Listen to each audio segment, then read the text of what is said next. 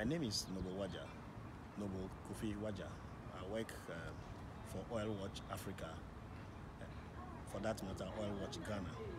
So I work from Ghana in West Africa.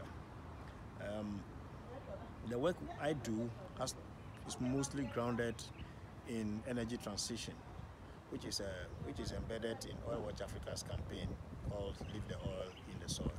And, uh, and the thinking of that, the, the philosophy of that campaign is informed by the need to transit away from fossil energy in a, in a way that the world become a more transformational society for all of us.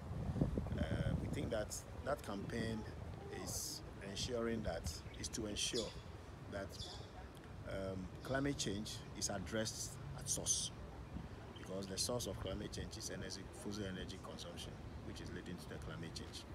And climate change is affecting us in much more difficult ways. In, in our organization, it affects us because at times when it rains, because of the poor infrastructure nature of our country, people are not even able to commute from home to office at the, the right time.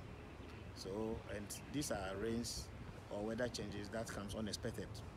So that is at our level. But at the country level, it happens also by that it affects in agriculture, it affects in uh, people's livelihood because of farming. People plant, they don't reap what they want. At the countryside, you see it happening.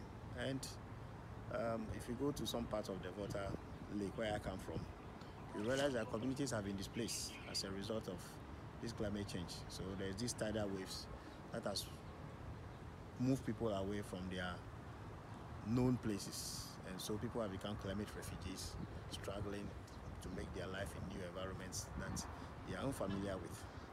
And uh, it is affecting the region, the whole West Africa, the, the mangroves, the wetlands areas are changing. All kinds of species that people don't know of are coming up. People are not able to connect with their um, primary economic activities that was traditionally known. Uh, mangrove areas are changing. Uh, the, the, the, quality of the water is changing, sea level intrusion into the river systems and all that.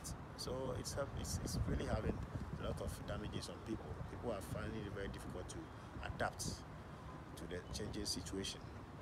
And I think that the developed countries have to do more to, to, to, to, to take uh, us out from this type of global challenge. And I will implore on the government of Canada and the people of Canada to, to put more into adaptation uh, funded technologies that helps developing economies like Ghana.